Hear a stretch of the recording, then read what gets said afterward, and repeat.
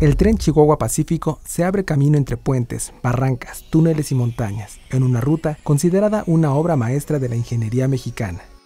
Construido en 1961 e inaugurado en 1962, el ferrocarril Chihuahua Pacífico, popularmente conocido como Chepe, es el único transporte férreo de pasajeros que corre todavía en México entre los estados de Chihuahua y Sinaloa, aunque el objetivo hoy en día es más de tipo turístico.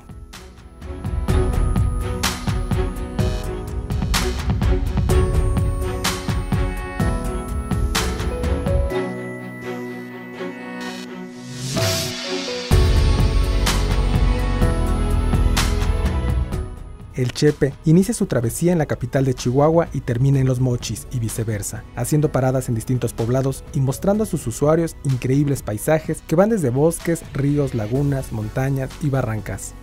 En su trayecto de 673 kilómetros que recorre a una velocidad de 80 kilómetros por hora en promedio, hay 37 puentes y 86 túneles, desde la Sierra Tarahumara a las Barrancas del Cobre. Transporta al año cerca de 80.000 personas de ambos estados, entre ellos rarámuris o tarahumaras, así como 90.000 turistas nacionales y extranjeros. Con información e imágenes de Arturo Monroy, Notimex.